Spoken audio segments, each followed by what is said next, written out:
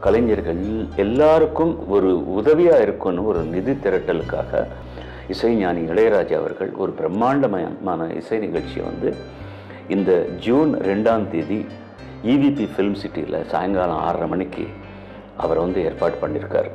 நீங்கள் எல்லாரும் வரணும்.